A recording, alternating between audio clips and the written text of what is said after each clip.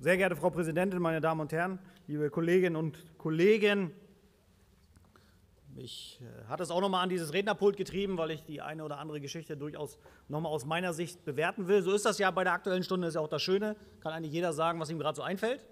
Ich finde das äh, erstaunlich, dass alle nach vorne gehen und sagen, ja, finden wir durchaus richtig, dass man diese Aktuelle Stunde auch in der Form so beantragt hat. Und dann äh, kommt immer, wenn Ihnen gar nichts mehr einfällt, sagen Sie, es ist Wahlkampf. Ähm, ich meine, wissen Sie, ich bin auch längst aus dem Alter raus, dass ich mich dafür entschuldige, wenn ich Wahlkampf mache. Also, ähm, obwohl diese Debatte heute nicht zum Wahlkampf dienen sollte.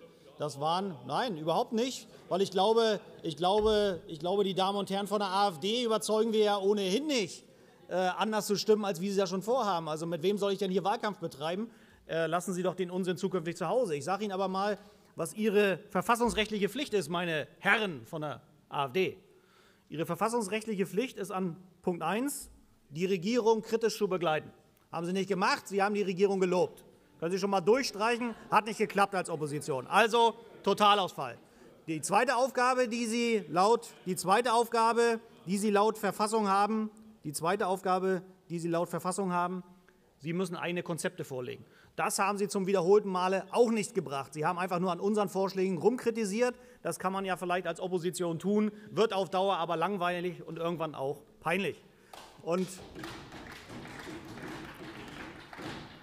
Wie schön, dass Sie sich mit unserer kommunalpolitischen Tour auseinandersetzen. Ich würde Ihnen das auch empfehlen, aber Sie tun das natürlich nicht, weil Sie Angst haben, wenn Sie die Leute einladen, kommt bei Ihnen keiner.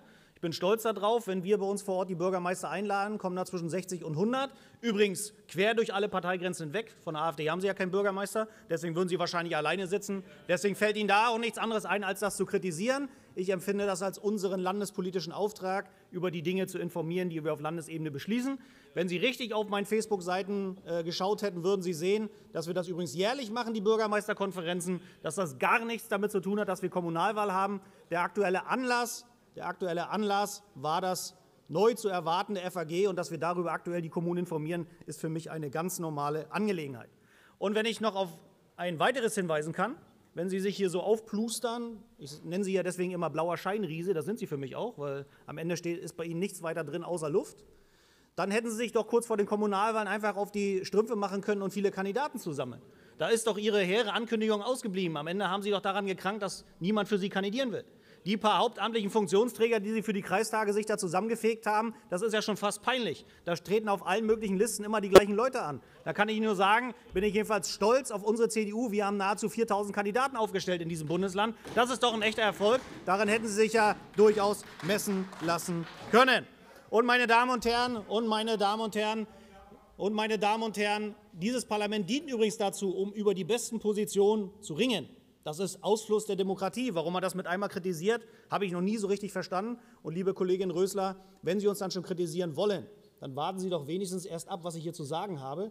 Ich finde, äh, die Aktuelle Stunde dient dazu, dass man hier eine ja, transparente und vor allem auch äh, zum Teil jedenfalls ein bisschen interessante Debatte führt und da nicht vom Zettel die Schmähungen, die Ihnen vorher ein Referent aufgeschrieben hat, über die SPD und die CDU auszugießen, ist schon peinlich. Lassen Sie sich für die Zukunft mal was Neues einfallen, dann klappt es auch mit der Aktuellen Stunde, meine sehr geehrten Damen und Herren. Vielen Dank.